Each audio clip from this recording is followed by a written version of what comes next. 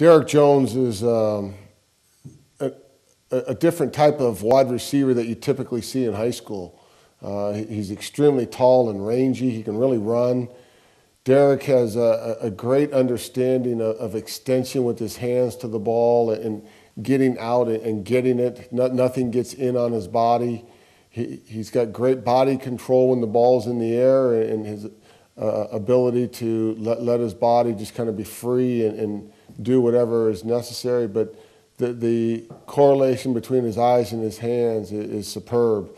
You know, the other thing that Derek has is a, you know, the six-three frame and these long strides, long arms is how he has a, you know, for the high school level, he, he swallows defensive backs when he's blocking. I mean, he just physically is just so much bigger than all of them, you know, typically. So, you know, Derek's got a very bright future. Um, he's already done great things in our program, and, and next season is going to be huge for him. But uh, I, I, see him dominating. Derek Jones is uh, the type of guy that uh, if he showed up to take my daughter to the prom, I'd be smiling, even as a father of a daughter, because uh, he's a high integrity, yes sir, no sir, young man. I have uh, no concerns about uh, his decision making on Friday and Saturday night.